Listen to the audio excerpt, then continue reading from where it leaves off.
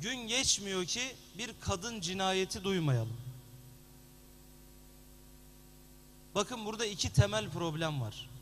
Bu tweet atmakla bitmiyor. Burada iki temel problem var. Birincisi bu ülkede kadınımızın bağımsızlığı yok.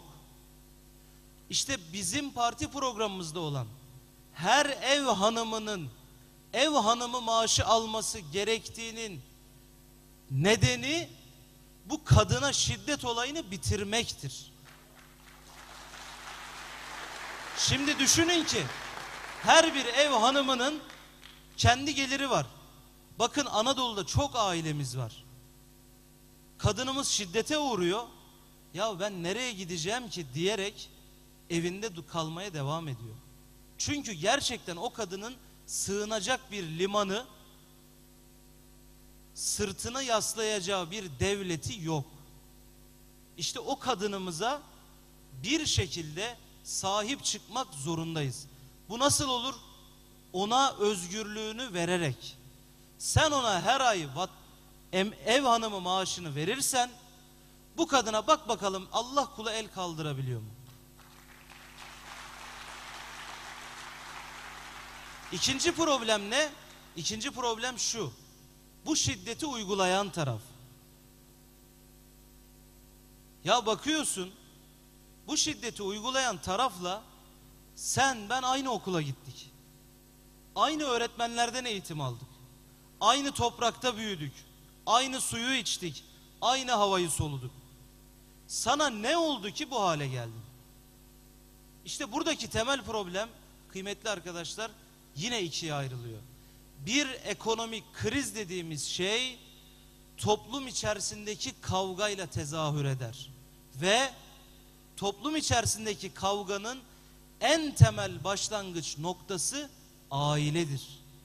İnsan yaşadığı psikolojik sıkıntıları en rahat dışa vurabileceği ve kendini güçlü hissedebileceği yer evi. Evine gidiyor ve bu krizden ötürü bu hale geliyor. Bunu yapıyor. Ha ben bu insanlara hak vermek, bunları haklı görmek adına bunu söylemiyorum. Bu cehaletin hiçbir açıklaması yok. Ama bu ekonomik tablonun doğurduğu sonuçları da görmezden gelemeyiz. Toplumu adeta çıldırtan bir noktaya gelmiştir. Bunu işte bu hallerden, bu durumlardan görebiliyoruz. İkincisi nedir? İkincisi eğitim.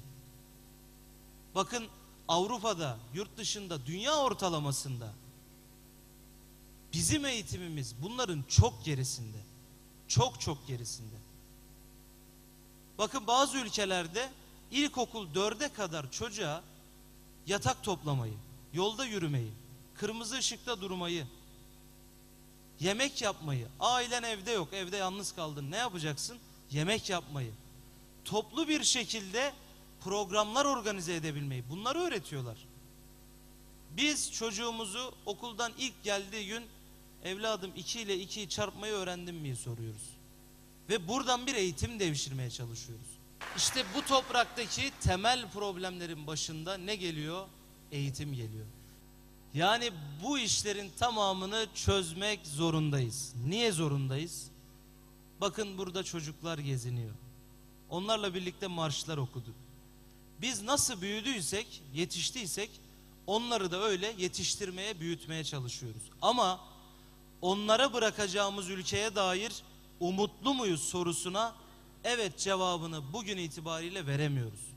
Umutlarımızı yeniden kazanmak zorundayız. Bize bir ekonomik model lazım. Ben açık açık soruyorum.